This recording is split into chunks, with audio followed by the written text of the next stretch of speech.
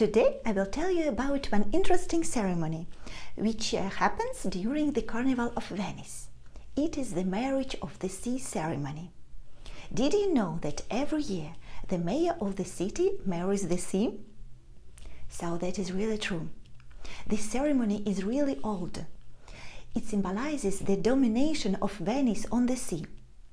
Every year, at the end of the carnival celebrations, the mayor of the city sails out into the bay on a beautiful ship and throws his ring into the sea with the words, For us and all who sail thereon, may the sea be calm and quiet. We are marrying you, the sea.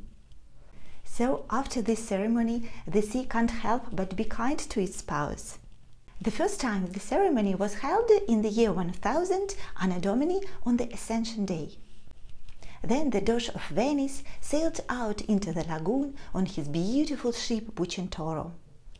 And there, near the church of St. Nicholas, they read a prayer and everyone was sprinkled with holy water. But one day Pope came. It was Pope Alexander III he came up with an interesting idea of removing uh, this precious ring from the Doge's finger and throwing it into the sea, so to speak, as a sign of true and everlasting domination of Venice on the sea. I can't say what Doge thought of that, uh, but the tradition stayed.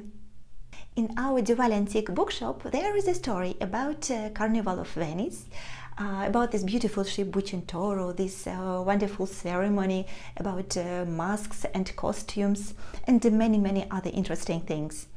Uh, the link to the magazine will be in the video description.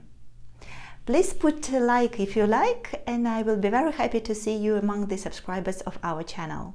See you next time. Bye bye.